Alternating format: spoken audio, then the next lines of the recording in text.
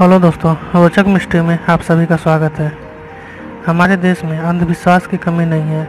इसके नाम पर जानवरों की बलि चढ़ा दी जाती है, दरवाजे पर नींबू मिर्च लटकाए जाते हैं। सवाल कई हैं, जिसके जवाब ढूँढने का प्रयास कम ही लोग करते हैं, और जो नहीं करते, वो किसी भी विश्वास को अंधभक्त बनकर मानते चले जाते हैं, और कोई भी यह हिम्मत नहीं करता कि ये मान्यताएँ, परंपराएँ तोड़ दी जाए या उसके खिलाफ कोई कदम उठाया जाए। बचपन से लेकर अब तक ना जाने कितनी चीज़ें हैं जिसे हम अब तक फॉलो करते हैं। जैसे नदी में सिक्के फेंकना, आपने नहीं फेंके होंगे तो देखा तो ज़रूर होगा।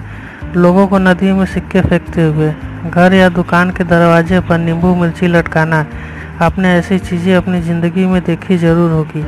आपको आपके जानने वालों ने इसके बारे में बताया भी होगा, लेकिन आपने इसको दूसरे नज़रिए से समझने की कोशिश नहीं की। बस जो बताया गया वही सच नहीं होता है। मगर आपने इस अंधविश्वास के पीछे छिपे लॉजिक को नहीं जाना होगा। तो इसलिए हम लेकर आए हैं ऐसे ही अंधविश्वास की एक लिस्ट जिसके पीछे के लॉजिक को जानना आपके लिए ज़रूरी है, जिससे कि आगे कोई भ्रमित ना हो। तो चलिए शुरू करते हैं। शमशान घाट से आकर नहाने की प्रथा। अंधविश्वास इसके पीछे ये है कि जो व्यक्ति भगवान को प्यारा हो गया, उसकी आत्मा को शांति मिले। इसके पीछे का लॉजिक ये है कि दरअसल पहले के समय में हेपेटाइटिस और चिकन पॉक्स जैसी बीमारियों के लिए वैक्सीनेशन नहीं था, इसलिए अंतिम संस्कार करके घर वापस आने पर नहाया जाता था, जिससे कि सौ के कीटाणु हमारे शरीर को नुकसान न पहुंचाएँ। तालाब में सिक्के फेंकना, इसको लेकर कई तरह के अंधविश्वास हैं, लेकिन कुछ लोग ये भी कहते हैं कि इससे भाग्य मज़बूत होता है लेकिन इसके पीछे का लॉजिक ये है कि पहले के ज़माने में सिक्के तांबे के हुआ करते थे। और हम सभी जानते हैं कि तांबा पानी के अंदर के बैक्टीरिया खत्म करने की क्षमता रखता है। साथ ही साथ तांबा सेहत को फ़ायदा पहुँचाने वाली धातु है। इसलिए तांबे के सिक्के नदी में फेंके जाते हैं। लेकिन अंधविश्वास के चलते लोग आज भी सिक्के पानी में फेंकते हैं। कहीं जाने से पहले दही खाना। इसके पीछे का अंधविश्वास ये है कि इससे भाग्य साथ देता है।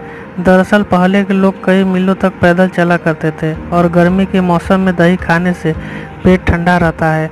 इसके साथ ही दही के साथ अगर चीनी मिला के खाई जाए तो ग्लूकोज की काम करता है। इसलिए लोग घर से निकलने से पहले दही और चीनी का इस्तेमाल करते थे, जिससे कि उन्हें रास्ते में कोई समस्या ना हो। मंगलवार और गुरुवार को बाल न धोना। है इसके पीछे का अंधविश्वास ये है कि इससे बुरा वक्त शुरू हो जाता है।